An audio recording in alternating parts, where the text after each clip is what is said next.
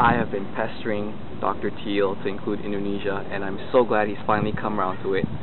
Check this out, Indonesia.